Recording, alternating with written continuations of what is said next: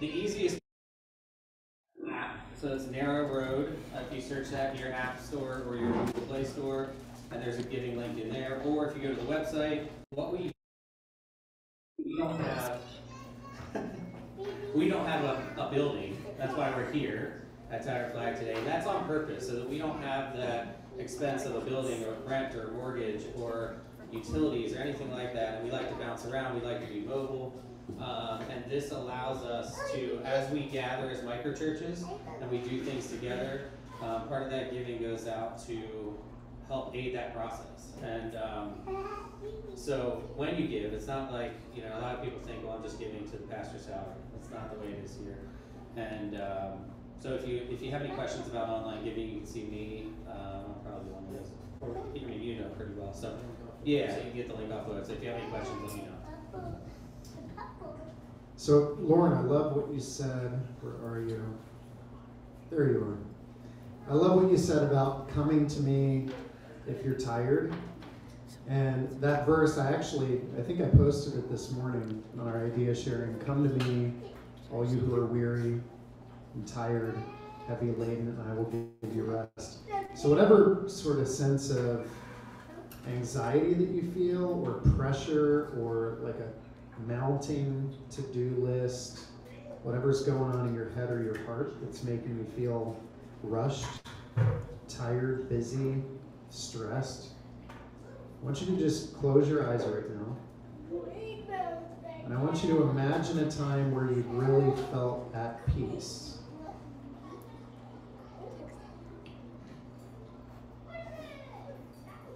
So, God, we just thank you that you invite us back into rest. There are moments and experiences that we have and have had with you. There are times where we felt your presence really super tangibly. And so we ask that you would invite us back into your rest, wherever we're at. Currently, but even throughout the day, when we're driving in the car and we feel sort of burnt out, we love the fact that you are omnipresent. You're with us everywhere. You're with us in the car. You're with us on the sidewalk. You're with us in the living room. You're with us in the grocery store. And we are free to experience your presence everywhere and every place all the time. So as we feel sort of tired and, and stressed and anxious and like there's all sort of pressure on us, help us to pause. Help us to feel the freedom to pause, not, not even the pressure to pause, but the freedom to pause, that we're able to break away and just take a collective sigh and be with you. We thank you that you're with us now, but you're with us all the time. We love you. Amen. Guys, today, Tony and I wanted to talk together about a topic that I get really fired up about, passionate about, and that is adventure. I'll use language of liminality and communitas if you're not familiar with those words. The idea of liminality is being put in liminal space or being put in an environment or experience of disorientation, being put somewhere where you feel uncomfortable, it's somewhere new, it's somewhere different, it's somewhere challenging. And if you look throughout the scriptures, you see God meeting people in these places that you'd call like liminal, like up on a mountain or in a storm, in these uncomfortable environments where people are stretched and they're forced to grow. And oftentimes we're very risk averse, right? We want to sort of get to this place of safety and comfort and security and all of that. And we even sort of picture faith as like a really predictable, safe, secure. You know what's going to happen. People sort of assume this is what's going to happen. If I go to a church service, they're going to play the few songs, and then the guy's going to get up and speak. And if I go into this Bible study, we're going to sit down around couches, we're going to get something to eat. You sort of know what's going to happen, it's very predictable. But you, there's no way that you could say following Jesus for the disciples that walk with him was predictable. They had no idea when they got up in the morning, where are we going to end up today? They had no idea. They didn't know whether they'd be hugging lepers, or they'd be on the top of a mountain, or they'd be sitting with prostitutes and tax collectors, they'd be with Pharisees or in a boat. They had no idea. Every day was sort of this wild ride and adventure. And you know, for them, they were comfortable sitting around with other Jews, going to the falafel house, you know, like eating eating Jewish food, hanging out in Jewish places. Yet Jesus had to go to Samaria. He wanted to take them into a place and around a group of people that was very taboo. The Jews never went and hung out with Samaritan people. And Jesus loved to take his disciples into spaces around groups of people that would stretch them and challenge them and cause them to grow. I think this is where real growth happens, is that we step a little bit outside of our comfort zone, right? I mean, this is a topic you and I constantly, when we talk about faith not being boring, lame, predictable, but being full of adventure, risk, danger, excitement. There's no way. Could you picture anyone ever saying that Jesus, anyone who ever met Jesus, that Jesus was boring? Yet, how many people associate Christianity with boring? Should never be so. There's no way we look like Jesus if people would then go boring, predictable, safe. No way. Because those who encountered Jesus, their, their hearts would beat a little bit faster. They'd feel this is where the title came from nervous energy. It's like when you go to Hershey Park or whatever park and you see this ride that you've never rode and it's really big and intense, or maybe you're going to go skydiving or something and you're excited about it, but there's like this nervous energy and you're like, I want to do it, but do I want to do it? And I'm sort of afraid, but I know it'll be fun. And I want to step out, but my heart's beating a little bit faster. And imagine if we shrunk back from all of those experiences. That's when we really truly, truly feel like we lived. Remember that day. Remember that ride. Remember that moment. Remember that experience. Remember when you got down on one knee and you proposed. Remember when you went to that place that you've never been to and you were scared, but you stepped out of your comfort zone. This is when we feel like we've truly lived. Right, and this is something that we can actually like train ourselves to do, um, and it's fun. Like, and we're gonna get into some experiences that we've had together later. But um, I know when I go out to eat with Mike, or he comes to Tattered Flag and we meet for lunch or whatever, he'll often say to the waiter waitress, "What do you recommend? Like, what do you what do you like?" And whatever that is, unless it has onions in it, he will he will get that, not knowing if he's gonna like it. It's it's just and that's and I remember years ago you told me that was one way you were training yourself to to put yourself in the space of liminality.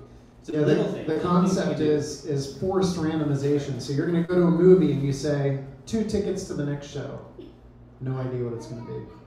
You're about to board a flight. You go, all right. I'm going to get four random magazines. Could be gardening, guns, whatever. Right. The idea is that you're stretching yourself to think about things and see the world through a different lens because we always. How, how many experiences do you miss, miss out on because you always get the bacon cheeseburger? And the bacon cheeseburger is good, but there's a whole world of flavors. There's a landscapes. Take a different route. Brush with your left hand, right? Whatever. You got to change and get yourself thinking outside of the normal muscle memory that, that we live into. So many people, you know, I, I love that people read Paul, and oftentimes in the church world, people are like, man, I just just want to do a Bible study on Paul. And we almost get this sense of like faith, re- read what? Hold the mic lower. Higher? No, I'm getting that it's muffled. It's muffled. Do I need it higher? Lower. Okay. Cool. I'm too loud. Sorry. Um, you, you, you get you get this like sense with with Paul and with faith that people think for some reason that a Bible study on community is spiritual, but community is not spiritual. Or a Bible study on mission is spiritual, but hanging out with atheist neighbors or coworkers is not spiritual. Wouldn't you think that the application of what you're reading is actually more spiritual than just talking about it? It's when the words of what you're reading in the Bible literally come off of the pages and sit around your table. You literally watch your faith come to life when you don't just talk about it, but you go, whatever we're reading, care for the orphans and the widows, this is pure religion. You look around in your community and you go, who are the single moms? Who are the orphans and the widows? Who are the people that are hurting? Where Jesus sat with tax collectors and sinners. Who are the people that nobody's sitting with? Who's not getting invited to the party? What if we throw a good party next week? We have a great barbecue and we invite people around just like Jesus would invite them around. And people are brought around our table and valued, and their stories are heard and they're loved. My faith is going to feel more alive if I live it than if I talk about it.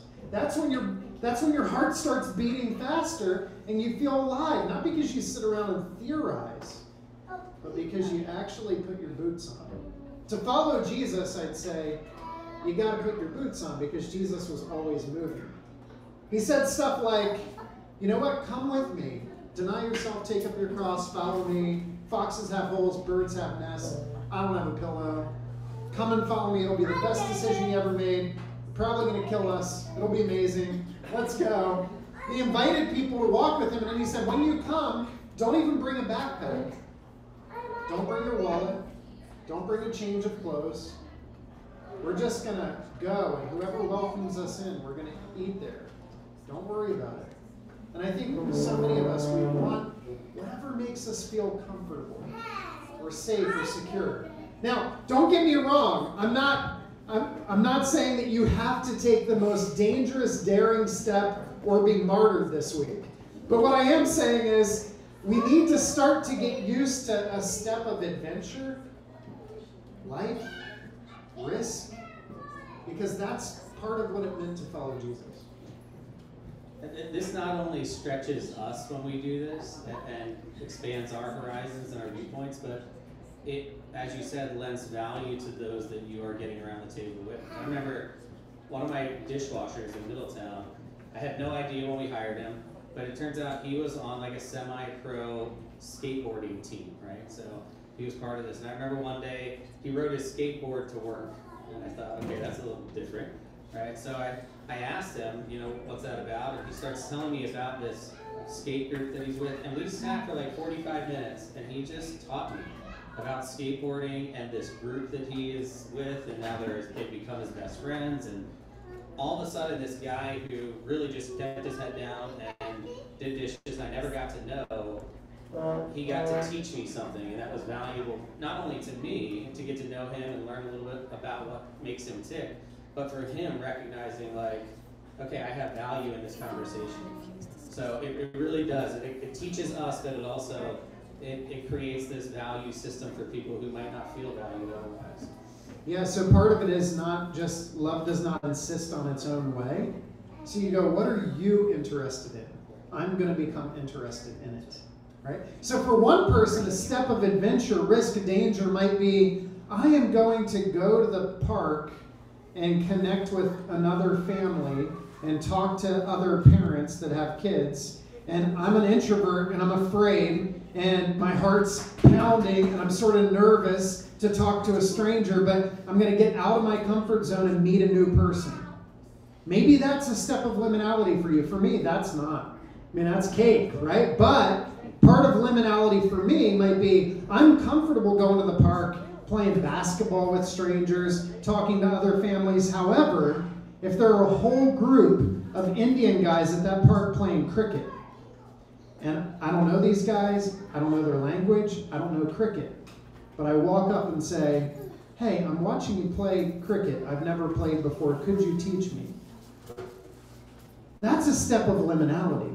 That's getting my heart beating. That's putting me in unfamiliar territory and disorientation and causing me to grow and stretch me and introducing me to a new group of people in a different setting. These are the types of things. So, my point is liminality and, and adventure and risk for me might be different than you. I think of it this way it's 10% outside of your comfort zone. What is a step that you could take that's 10% outside of your comfort zone? Maybe for you, it's I'm going to invite somebody to have a cup of coffee with me this week from work. I'm going to invite someone to hang out for happy hour afterwards. Maybe that's a step that's really dangerous or scary for you. I'm going to buy coffee for the person that's in line behind me.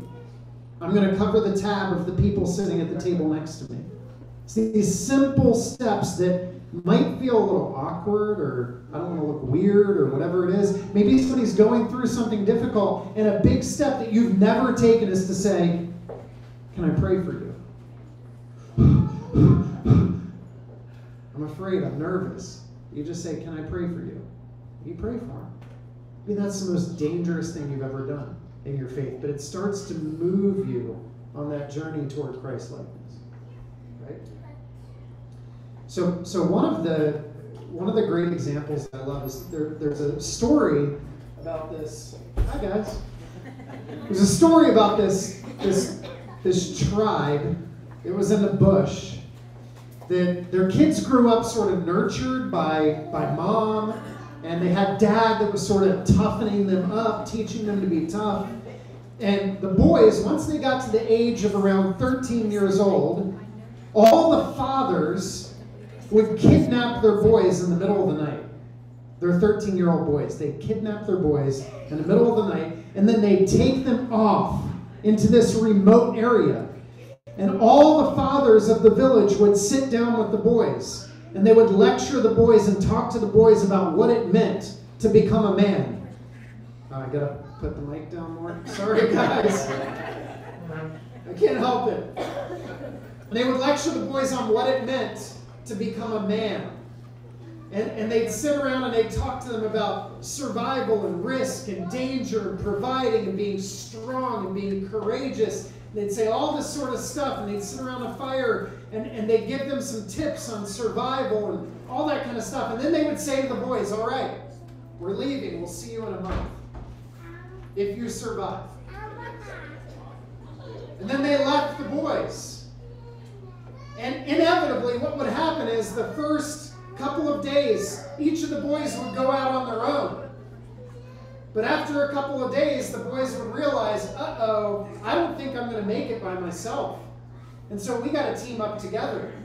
And so a 13 year old boy would find another 13 year old boy, and they would start to team up together, and a group of them together would go, you know what, we've got to protect ourselves from the elements. So they build some sort of makeshift hut with a roof to try to protect them from the elements. And then they learn that we've got to like catch fish together, and we got to learn to build a fire, and we got to eat. We got to make sure that we stay alive. And they would sort of work together to try to stay alive. Now, what do you think happened after a month?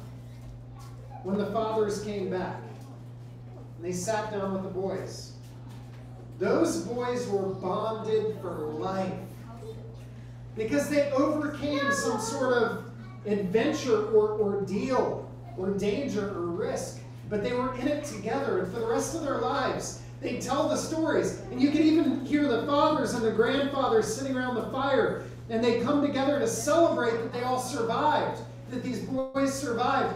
And as they're telling the stories, you'd, you'd hear one old man looking at the other old man and go, Hey, remember ours? Remember when we were running and we had that lion chasing us? And we climbed up that tree and you had to pee on him to stay alive and he got your leg, didn't he, right? They're sort of laughing and they're, they're sitting around telling these stories, but they lived, they made it, and they were together and they were bonded for life. And I think if you want to think about mission, if you want to think about the journey that Jesus has us on through that lens, look at Jesus and the disciples.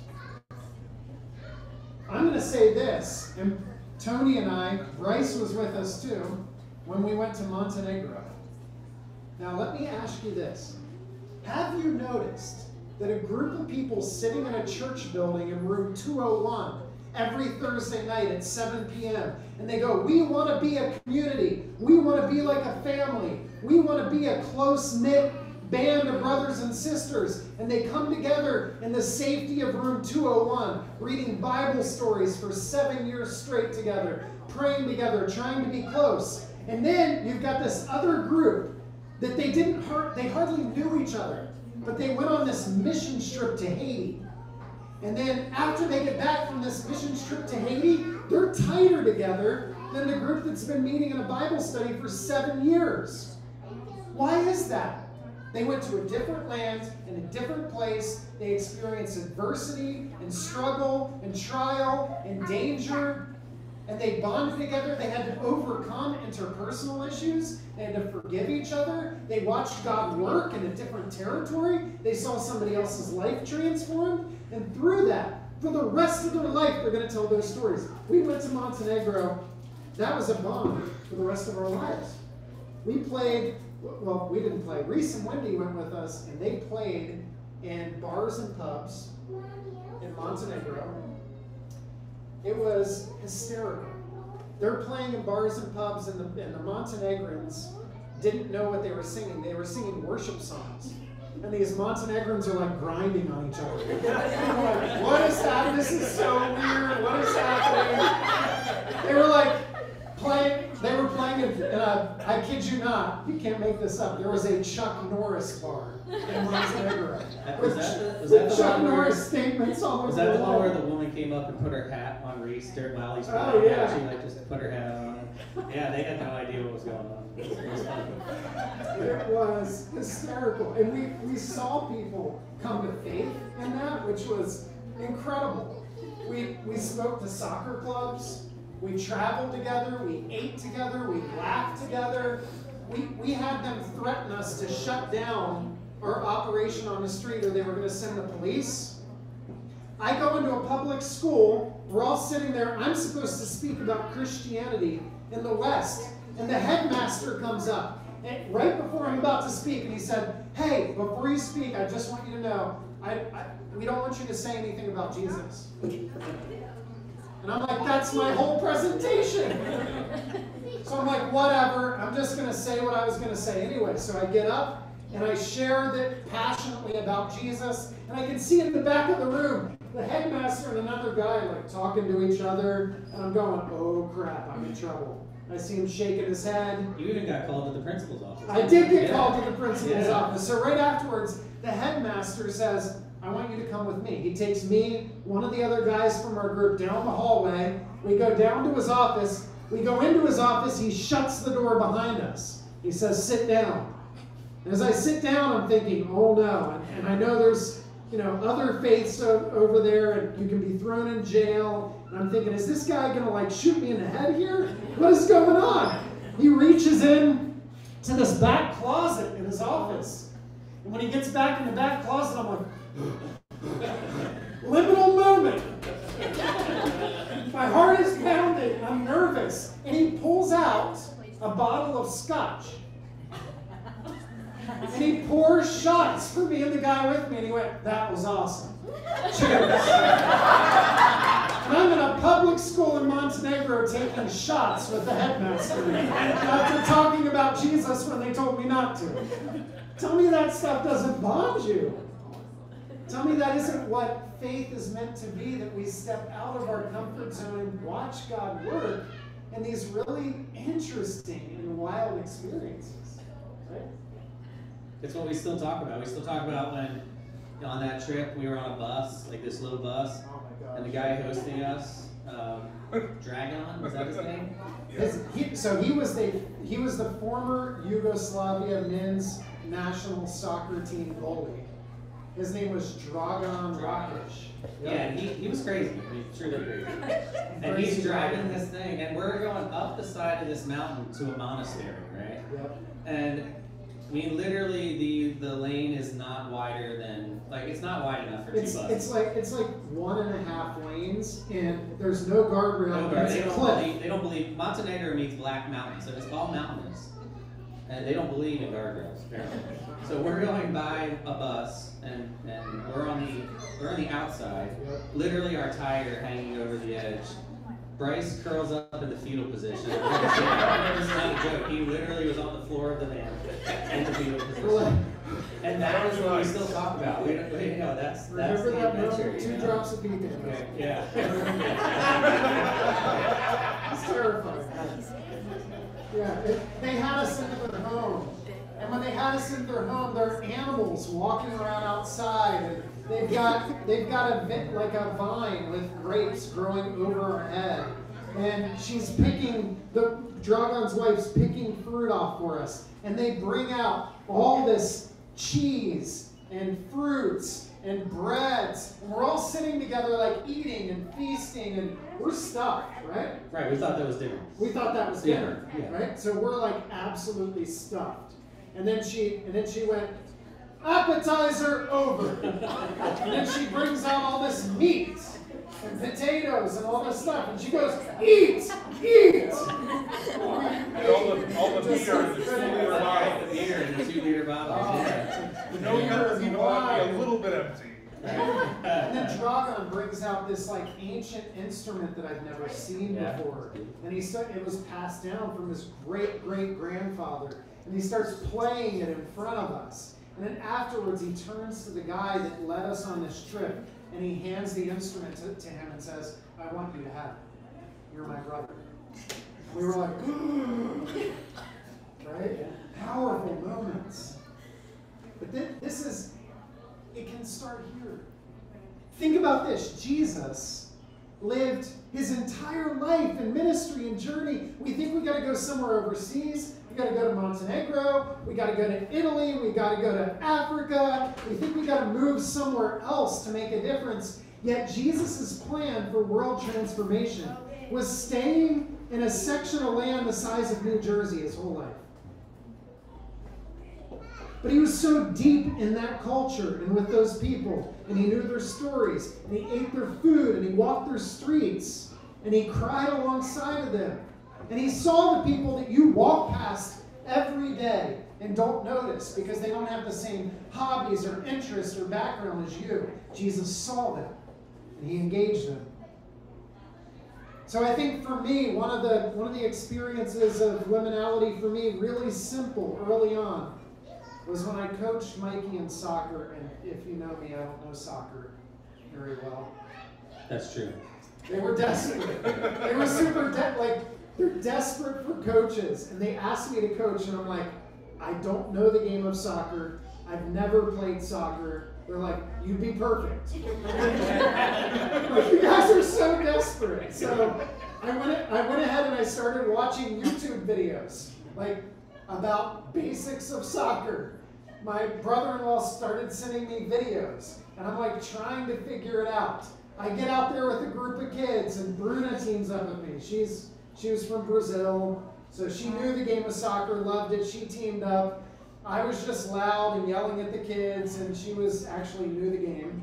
And so we got all the kids together, and I'm like trying to coach them up, and I'm like, all right, kids, here's how you do it. Here's how you here's how you kick the ball in. And so I put the soccer ball down, and, and I'm thinking I'm just gonna give it a nice boot and show them how to kick this sucker in. And all the kids are, are lining up, and I'm like, watch me. And I go, boom, like that. And it just hit my foot just right that that thing sailed all the way over the field, over the fence, hit the back hill, bounced off the hill, went into the street, cars are swerving.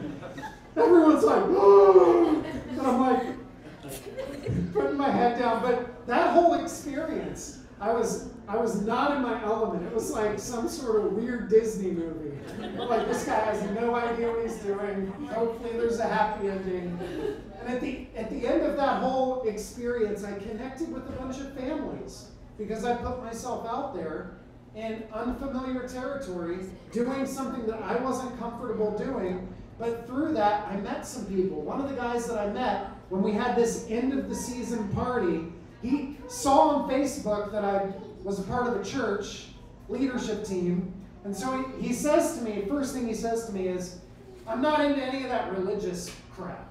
That's the first thing he says to me, right? And so I knew right away that this guy's like antagonistic. Find out, find out that he's an atheist. We became friends. And so we're hanging out, we're occasionally getting a drink together, and over the course of several months, he's sharing his heart and his story and his challenges. We got together for beer one night, and he, it was after the hurricane um, down in Texas. He's a former military guy. And so this guy decides when he saw the crisis from the hurricane down in Texas. He's going to get a bunch of his buddies together, and they're going to rent a truck, take a week off of work, go down to Texas, and they're going to help rescue people that are stuck in, you know, all the water down there in Texas. And so I'm like, this is amazing. So he's telling me his story about how he went down there, put himself in danger, took a week off of work to help all these people. He's raising money to help them. And I'm like, dude, I know that you're not into faith or religion or any of that, but what you're doing, what you just did on that trip, looks like Jesus. And Jesus is my hero. And I just love that story of what you're doing. That's very Jesus like, whether you like it or not. And I just really dig what you're doing. So, through the course of a few more months later, he hit a couple personal trials and issues that he was dealing with. Reached out to me. We talked that week. He ended up showing up to one of our NRC gatherings on a Sunday morning at the conference center.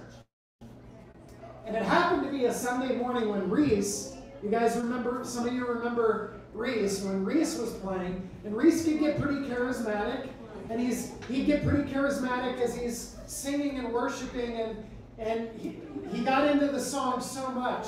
And I saw I saw this guy sitting up front, his first time there, and I'm going, oh God, help him not to get too crazy, because he's gonna he's gonna scare this guy that just came for the first time. And so this guy's sitting up at one of our one of our front tables, and Reese is playing music, and as he's playing, he's, his hair is going back. And you, you know how Reese would do his little hairpiece would flip up and front, and go like this, and and then I heard him like as he's singing, he'd be like, oh, yes, Lord, yes, oh. And I'm looking up at this guy like, oh God, help me, please. Help this guy not to run away and never come back. Like, please help me. Yes, Lord. And then it got worse. He goes, oh, just like, ju- just like Song Solomon when the lover waits outside the door. It says, let me in, Lord. Let me in.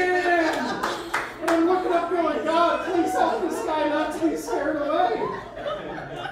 And so then I go on, I get up, and I, I share this story. And in the story that I'm sharing, I talk about how God calls us to, to step out and take risk, to love people even though it's inconvenient. Sort of like today's message, full circle. And I say, when God calls you to do something, sometimes you just follow that, even though it doesn't fit into your schedule or your plans, and it's inconvenient. And after that, that night, I'm sitting with Jackie, we're on the couch, and I see this email pop up from this guy that had visited that morning. And I'm thinking, oh no, he's going to tell me that was weird. and when I look at the email, what I see him say is, hey, what you shared this morning impacted me so much. I went out to lunch that day, right after I heard you speak, and I saw this homeless guy next to the restaurant. And I got talking to the homeless guy because I remember you telling me this morning about reaching out and about how love sees people and love takes us beyond what's comfortable. And, and so I just asked this guy to tell me a story. And he said he was trying to get to Ohio and he was homeless and he, he needed to get out west and he was asking for money. And he said, So in that moment, I just felt this dose of courage that God just wanted me to take this guy to Ohio. And so I took him in my car and I drove him to Ohio. And I'm looking at this going, You've got to be kidding me. This is the same guy that said he was an atheist, shows up at our gathering, watches Reese, super charismatic, hears me share, drives a man to Ohio. I'm going, This is amazing. But this is the type of stuff that God will do if we simply take the step to go, I'm willing to coach soccer. I'm willing to invite somebody to grab a burrito. I'm willing to step outside of my normal environment, doing my normal stuff, thinking of faith as just be good, show up at church, and try to be moral. That Jesus is inviting us to step into adventure and to engage the world around us in ways that really make a difference. I'm talking about. I don't have anything to add. I'll let you know I won't. I'm like, Tony, you want to teach with me? And I just teach the whole time he stands here. You know I'm not afraid to jump in, so, Yeah. no, it's good. Uh, I, I think that the, the biggest obstacle to all this is what? Fear.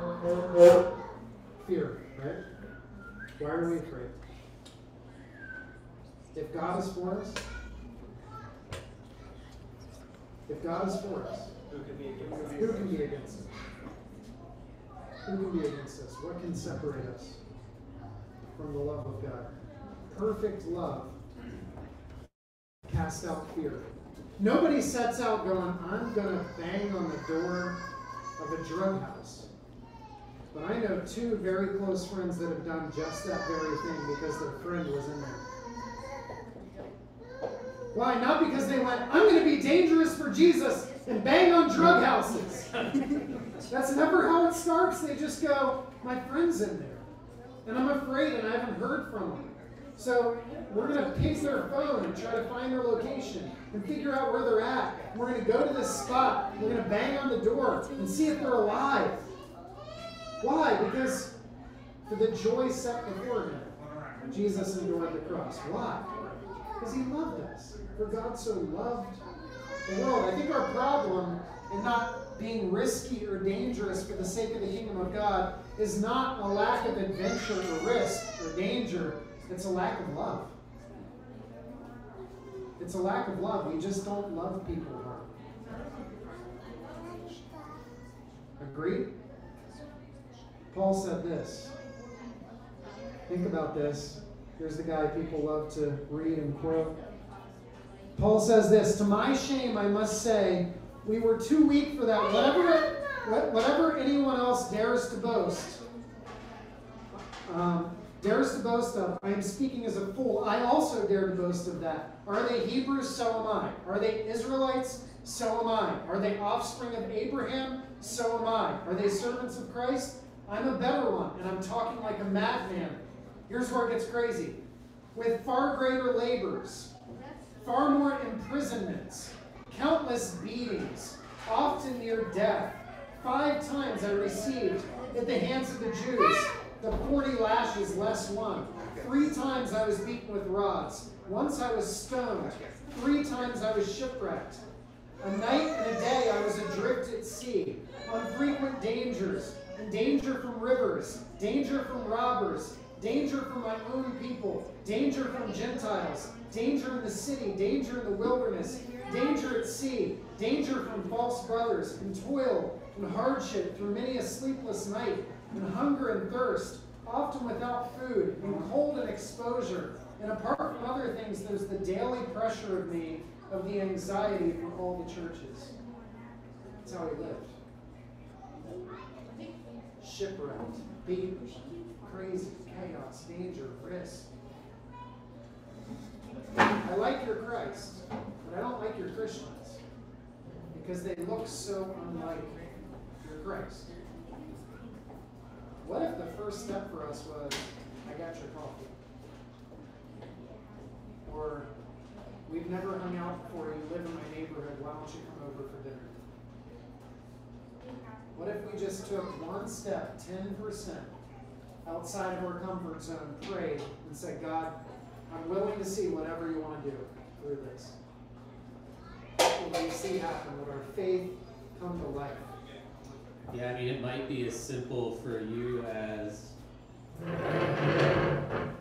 when, when it comes to overcoming fear, that when you're with a group of friends and they start that gossip about that friend that's not there, right? And you're the one that steps in and says, you know what, I love that person. And yeah, they're struggling with this, but I love that person and we should we should include them. We should get together with them. I, I remember Devlin's up here, our bartender. Last year, um, there was a kid in her class who was really struggling with behavior.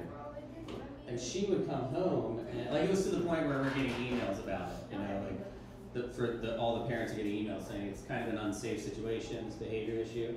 And she would come home, and we'd ask, you know, how was so and so's day?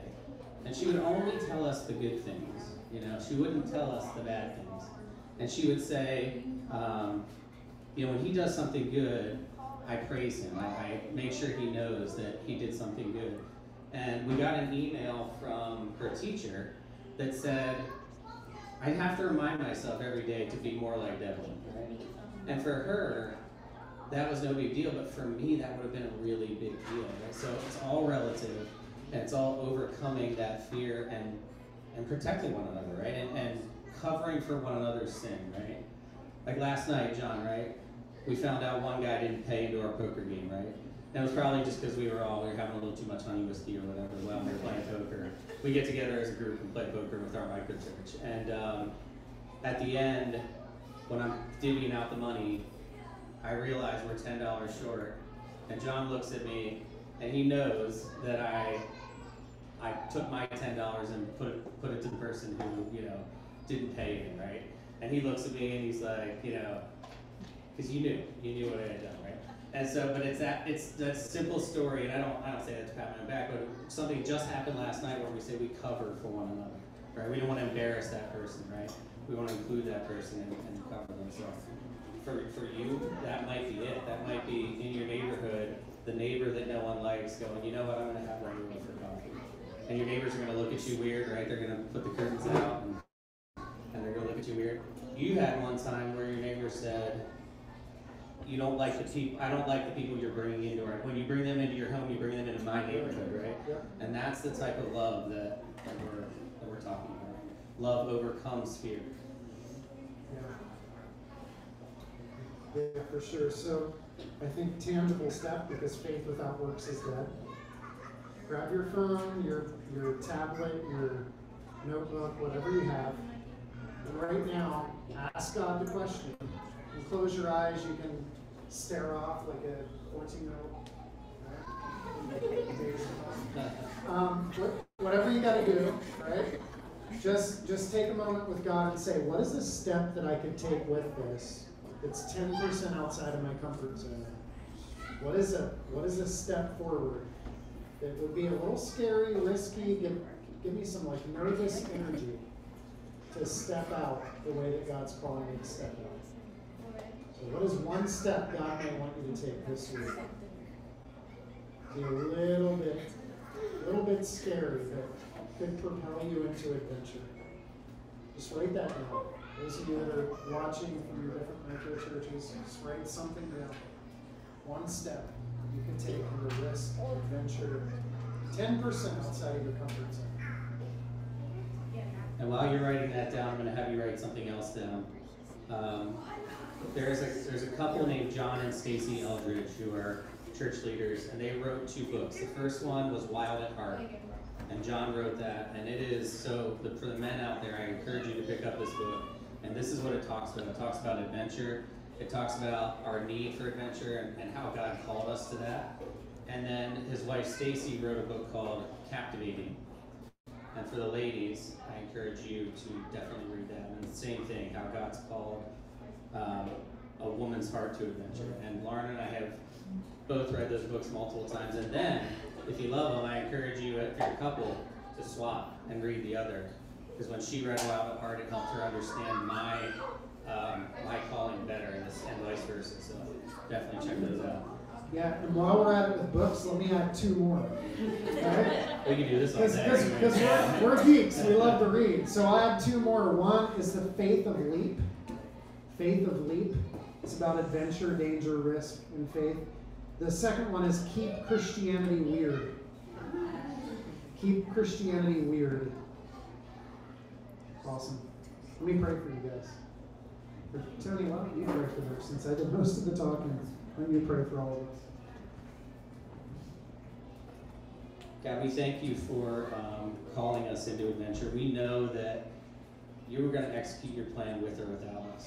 You had an end goal in mind, but uh, and you have the power to do that. You don't need us, but you you choose to include us in, in adventure and in risk because it it changes. It changes who we are. It changes uh, how we think. It changes, most importantly, how we love.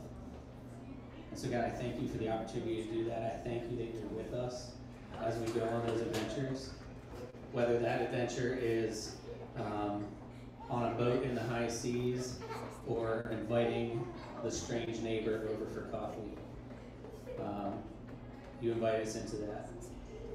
We thank you for the thrill that it gives us. We thank you for the stretching that it does. We thank you for how it changes lives, how it, how it changes futures, and that you use us to do that. The scriptures tell us that if if we don't do it, you're going to have the rocks cry. But we're thankful that you give us the opportunity to do that crying out instead. So, um, God, I thank you for letting us shine that light. And um, I pray that whatever it is for each person here or online or watches this later, that they figure out what that 10% is for them. They step 10% outside that comfort zone and, uh, and go on an adventure this week. Because if we wait, we won't do it. So, guys, stir people's hearts to make that change, to, to take that leap. Because it'll be the best decision we ever make. Amen. Guys, next week we'll be at the Harrisburg Improv Theater, and Omar and April's Micro Church will be hosting. So we'll either see you online or we'll see you live at the Harrisburg Improv Theater. Have a good week.